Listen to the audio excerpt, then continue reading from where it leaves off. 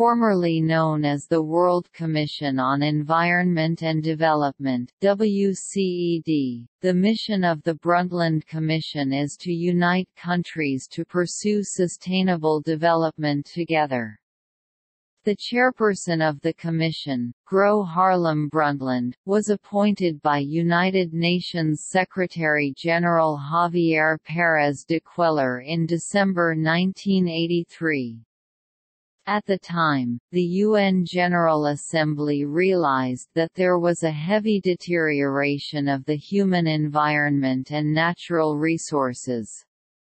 To rally countries to work and pursue sustainable development together, the UN decided to establish the Brundtland Commission. Gro Harlem Brundtland was the former Prime Minister of Norway and was chosen due to her strong background in the sciences and public health. The Brundtland Commission officially dissolved in December 1987 after releasing Our Common Future, also known as the Brundtland Report, in October 1987. The document popularized and defined the term sustainable development. Our Common Future won the University of Louisville Grawemeyer Award in 1991. The organization's Center for Our Common Future was started in April 1988 to take the place of the Commission.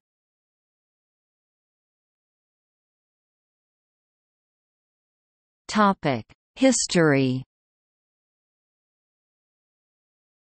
Ten years after the 1972 United Nations Conference on the Human Environment, a number of global environmental challenges had clearly not been adequately addressed. In several ways, these challenges had grown. Particularly, the underlying problem of how to reduce poverty in low-income countries through more productive and industrialized economy without, in the process, exacerbating the global and local environmental burdens, remained unresolved. Neither high-income countries in the north nor low-income countries in the south were willing to give up an economic development based on growth, but environmental threats, ranging from pollution, acid rain, deforestation and desertification, the destruction of the ozone layer, to early signs of climate change, were impossible to overlook and increasingly unacceptable. There was a tangible need for a developmental concept that would allow reconciling economic development with environmental protection. Views differed on several questions. Were local environmental problems the result of local developments or of a global economic system that forced particularly low income countries to destroy their environmental basis? Did environmental burdens result mainly from destructive economic growth-based development or from a lack of economic development and modernization? Would reconciling the economy and the environment require mainly technical means by using more resource-efficient technologies or mainly social and structural changes that would include political decision-making as well as changes in private consumption patterns? The 1980 World Conservation Strategy of the International Union for the Conservation of Nature, was the first report that included a very brief chapter on a concept called sustainable development. It focused on global structural changes and was not widely read the UN initiated an independent commission, which was asked to provide an analysis of existing problems and ideas for their solution, similar to earlier commissions such as the Independent Commission on International Development Issues Brandt Commission, and the Independent Commission on Disarmament and Security Issues Palme Commission. In December 1983, the Secretary Secretary-General of the United Nations, Javier Pérez de Cuéllar, asked the former Prime Minister of Norway, Gro Harlem Brundtland, to create an organization independent of the UN to focus on environmental and developmental problems and solutions after an affirmation by the General Assembly resolution in the fall of 1983. This new organization was the Brundtland Commission, or more formally, the World Commission on Environment and Development WCED. The Brundtland Commission was first headed by Gro Harlem Brundtland as chairman and Mansur Khalid as vice chairman. The organization aimed to create a united international community with shared sustainability goals by identifying sustainability problems worldwide, raising awareness about them, and suggesting the implementation of solutions. In 1987, the Brundtland Commission published the first volume of Our Common Future, the organization's main report. Our Common Future strongly influenced the Earth Summit in Rio de Janeiro, Brazil, in 1992 and the Third UN Conference on Environment and Development in Johannesburg, South Africa, in 2002. Also, it is credited with crafting the most prevalent definition of sustainability, as seen below.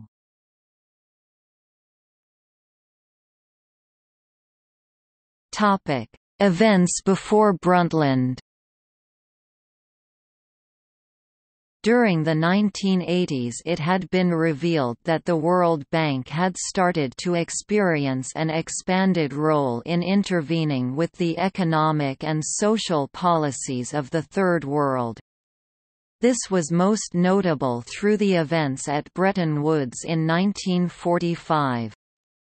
The ideas of neoliberalism and the institutions promoting economic globalization dominated the political agenda of the world's then leading trading nations, the United States under President Ronald Reagan and the United Kingdom under Prime Minister Margaret Thatcher, both classical liberals. The Brundtland Report was intended as a response to the conflict between the nascent order promoting globalized economic growth and the accelerating ecological degradation occurring on a global scale. The challenge posed in the 1980s was to harmonize prosperity with ecology. This postulated finding the means to continue economic growth without undue harm to the environment. To address the urgent needs of developing countries Third World, the United Nations saw a need to strike a better balance of human and environmental well-being.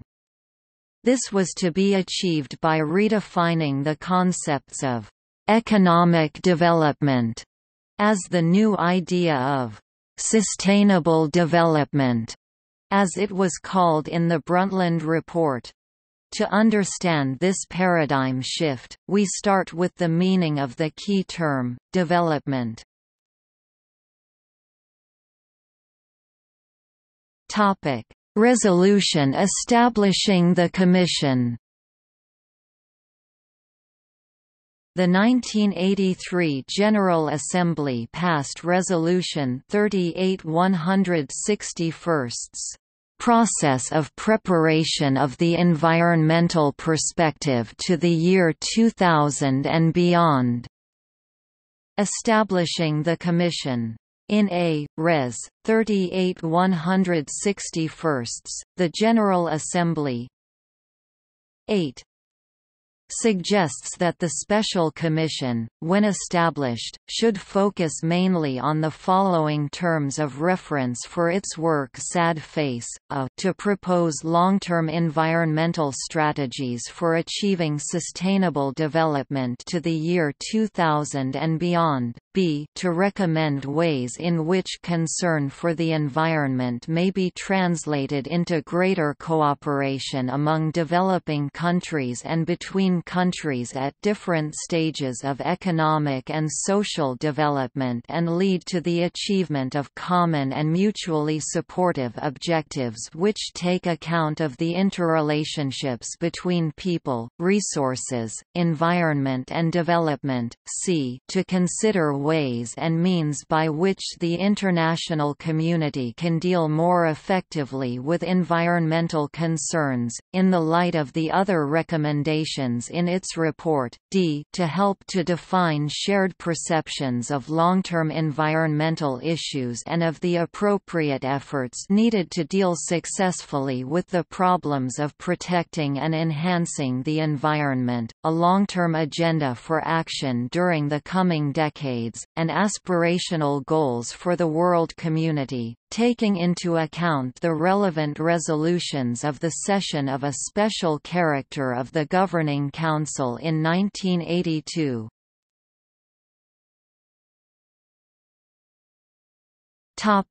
Modern definition of sustainable development The Brundtland Commission draws upon several notions in its definition of sustainable development, which is the most frequently cited definition of the concept to date. A key element in the definition is the unity of environment and development. The Brundtland Commission argues against the assertions of the 1972 Stockholm Conference on the Human Environment and provides an alternative perspective on sustainable development, unique from that of the 1980 World Conservation Strategy of the International Union for the Conservation of Nature. The Brundtland Commission pushed for the idea that while the environment was previously perceived as a sphere separate from human emotion or action, and while development was a term habitually used to describe political goals or economic progress. It is more comprehensive to understand the two terms in relation to each other. We can better understand the environment in relation to development and we can better understand development in relation to the environment, because they cannot and should not be distinguished as separate entities. Brundtland argues. The environment is where we live, and development is what we all do in attempting to improve our lot within that abode. The two are inseparable. The Brundtland Commission insists upon the environment being something beyond physicality, going beyond that traditional school of thought to include social and political atmospheres and circumstances. It also insists that development is not just about how poor countries can ameliorate their situation, but what the entire world, including developed countries, can do to ameliorate our common situation. The term sustainable development was coined in the paper Our Common Future, released by the Brundtland Commission. Sustainable development is the kind of development that meets the needs of the present without compromising the ability of future generations to meet their own needs. The two key concepts of sustainable development are the concept of needs in particular the essential needs of the world's poorest people, to which they should be given overriding priority, and the idea of limitations which is imposed by the state of technology and social organization on the environment's ability to meet both present and future needs, most agree that the central idea of the Brundtland Commission's definition of sustainable development is that of intergenerational equity. In sum, the needs are basic and essential, economic growth will facilitate their fulfillment, and equity is encouraged by citizen participation. Therefore, another characteristic that really sets this definition apart from others is the element of humanity that the Brundtland Commission integrates. The particular ambiguity and openness to interpretation of this definition has allowed for widespread support from diverse efforts, groups and organizations. However, this has also been a criticism, perceived by some notable commentators as self-defeating and compromised rhetoric. It nonetheless lays out a core set of guiding principles that can be enriched by an evolving global discourse. As a result of the work of the Brundtland Commission, the issue of sustainable development is on the agenda of numerous international and national institutions, as well as corporations and city efforts. The definition gave light to new perspectives on the sustainability of an ever-changing planet with an ever-changing population. Brundtland Commission Our Common Future the report of the Brundtland Commission, Our Common Future, was published by Oxford University Press in 1987, and was welcomed by the General Assembly Resolution 42 187. Report of the World Commission on Environment and Development, General Assembly Resolution 42 187, the 11th of December 1987. One version with links to cited documents are Common Future, Report of the World Commission on Environment and Development, World Commission on Environment and Development, 1987 published as Annex to General Assembly Document A, 42 427, Development and International Cooperation is available. The document was the culmination of a 900-day international exercise which catalogued, analyzed, and synthesized written submissions and expert testimony from senior government representatives, scientists and experts, research institutes, industrialists, representatives of non-governmental organizations, and the general public held at public hearings throughout the world. The Brundtland Commission's mandate was to, 1 re-examine the critical issues of environment and development and to formulate innovative, concrete, and realistic action proposals to deal with them, 2 strengthen international cooperation on environment and development and assess and propose new forms of cooperation that can break out of existing patterns and influence policies and events in the direction of needed change, and 3 raise the level of understanding and commitment to action on the part of individuals, voluntary organizations, businesses, institutes, and governments 1987 to 347 the Commission focused its attention on the areas of population, food security, the loss of species and genetic resources, energy, industry, and human settlements, realizing that all of these are connected and cannot be treated in isolation one from another 1987 to 27. The Brundtland Commission report recognized that human resource development in the form of poverty reduction, gender equity, and wealth redistribution was crucial to formulating strategies for environmental conservation, and it also recognized that environmental limits to economic growth in industrialized and industrializing societies existed.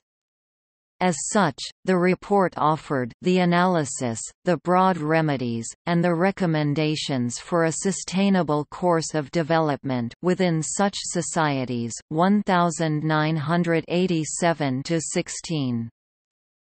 The report deals with sustainable development and the change of politics needed for achieving it.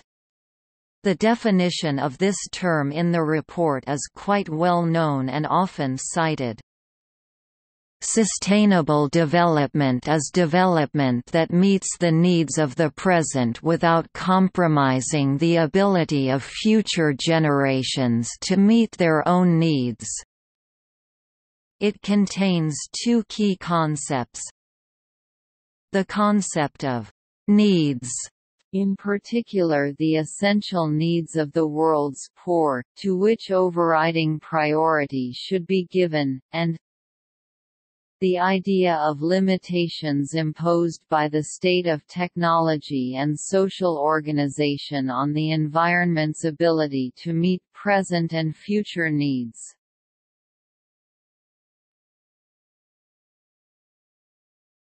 Topic: Structure. The Brundtland Commission was chaired by former Norwegian Prime Minister Gro Harlem Brundtland. Politicians, civil servants, and environmental experts make up the majority of the members. Members of the Commission represent 21 different nations both developed and developing countries are included. Many of the members are important political figures in their home country. One example is William Ruckelshaus, former head of the U.S. Environmental Protection Agency. All members of the Commission were appointed by both Gro Harlem Brundtland and Mansur Khalid, the chairman and vice-chairman. The Commission focuses on setting up networks to promote environmental stewardship. Most of these networks make connections between governments and non-government entities. One such network is Bill Clinton's Council on Sustainable Development. In this council government and business leaders come together to share ideas on how to encourage sustainable development. The Brundtland Commission has been the most successful in forming international ties between governments and multinational corporations. The 1992 and 2002 Earth Summits were the direct result of the Brundtland Commission. The international structure and scope of the Brundtland Commission allow multiple problems such as deforestation and ozone depletion to be looked at from a holistic approach.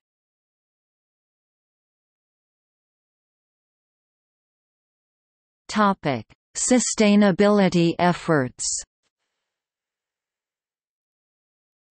The three main pillars of sustainable development include economic growth, environmental protection, and social equality.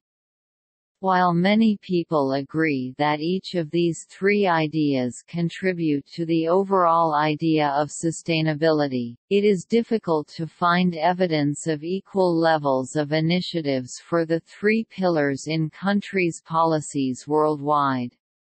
With the overwhelming number of countries that put economic growth on the forefront of sustainable development, it is evident that the other two pillars have been suffering, especially with the overall well-being of the environment in a dangerously unhealthy state.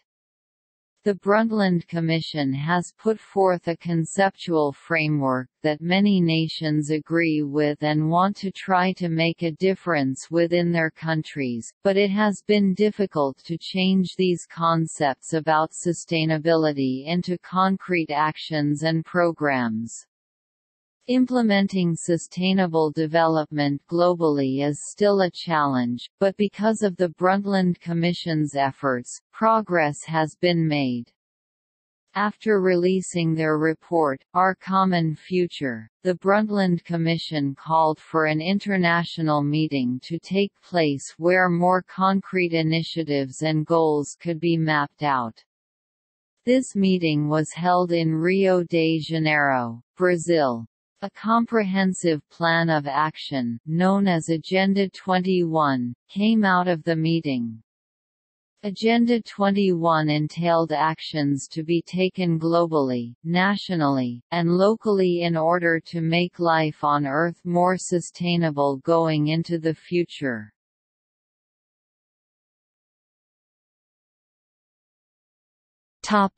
Economic growth Economic growth is the pillar that most groups focus on when attempting to attain more sustainable efforts and development. In trying to build their economies, many countries focus their efforts on resource extraction, which leads to unsustainable efforts for environmental protection as well as economic growth sustainability. While the Commission was able to help to change the association between economic growth and resource extraction, the total worldwide consumption of resources is projected to increase in the future. So much of the natural world has already been converted into human use that the focus cannot simply remain on economic growth and omit the ever-growing problem of environmental sustainability. Agenda 21 reinforces the importance of finding ways to generate economic growth without hurting the environment. Through various trade negotiations such as improving access to markets for exports of developing countries, Agenda 21 looks to increase economic growth sustainability in countries that need it most.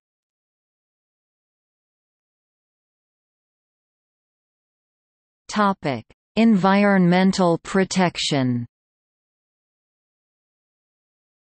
Environmental protection has become more important to government and businesses over the last 20 years, leading to great improvements in the number of people willing to invest in green technologies. For the second year in a row in 2010, the United States and Europe added more power capacity from renewable sources such as wind and solar. In 2011 the efforts continue with 45 new wind energy projects beginning in 25 different states. The focus on environmental protection has transpired globally as well, including a great deal of investment in renewable energy power capacity. Eco-city development occurring around the world helps to develop and implement water conservation, smart grids with renewable energy sources, LED street lights and energy-efficient building.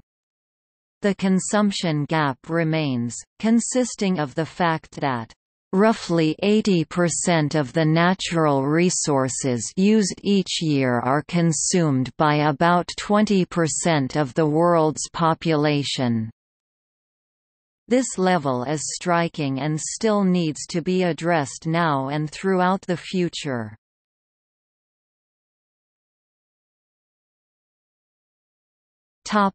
Social equality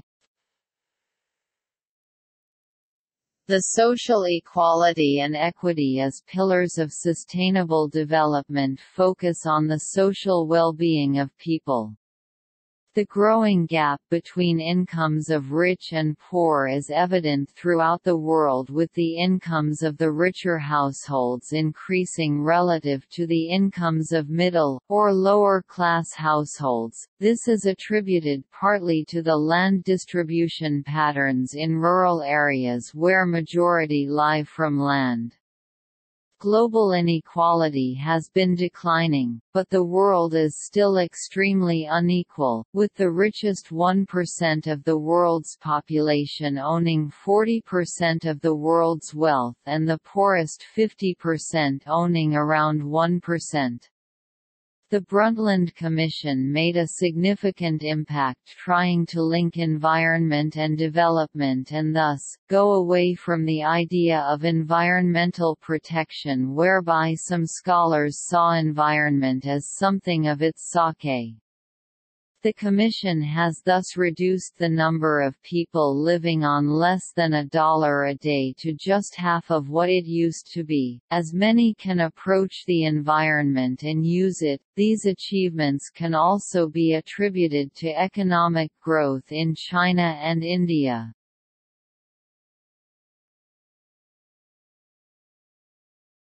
Topic: Members of the Commission Chairman, Gro Harlem Brundtland, Norway. Vice Chairman, Mansour Khalid, Sudan. Susanna Agnelli, Italy. Saleh. Al Athel, Saudi Arabia.